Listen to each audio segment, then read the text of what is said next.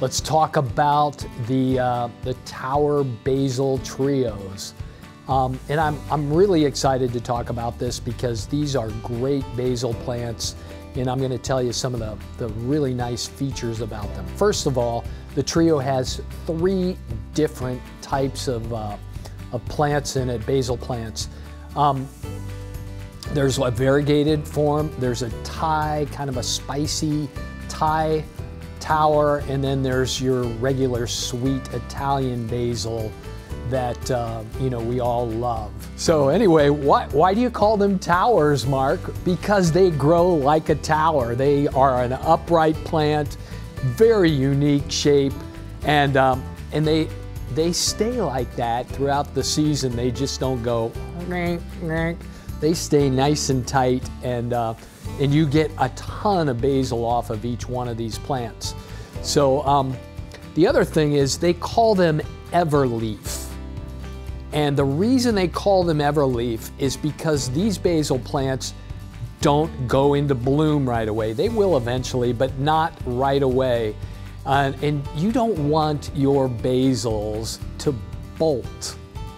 Now, what does that mean, bolting? That means your basil plants start flowering and they have like these little spiky flowers that come out and you just don't want that because what that does is it draws all the flavor out of the plant and some basils just get really bitter when you let them bolt or go into flower. So these have delayed bolting.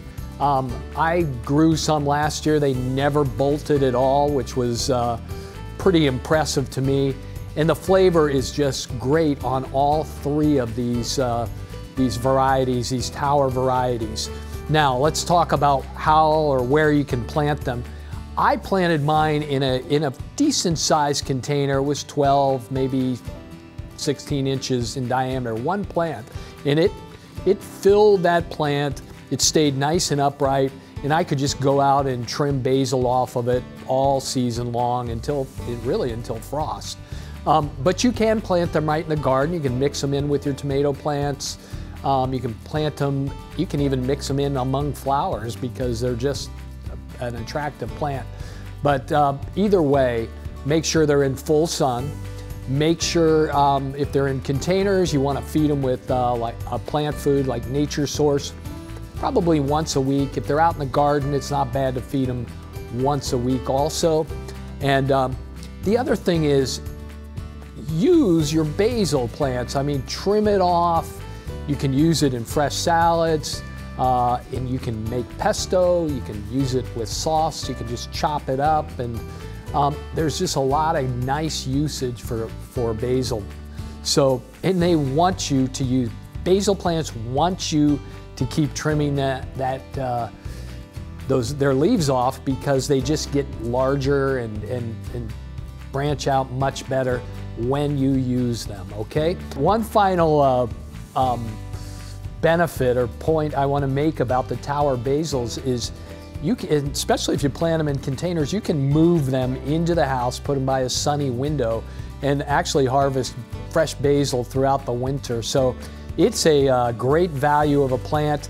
Um, and you know, there aren't a lot of plants you can bring in the house that are edible that actually produce, but these tower basils will. So um, give, it, give it a try. I think you'll be really happy if you've grown other kinds of basil. You'll definitely want to switch, um, mainly because they don't bolt and go to flower and uh, you don't have to really deal with that issue any longer.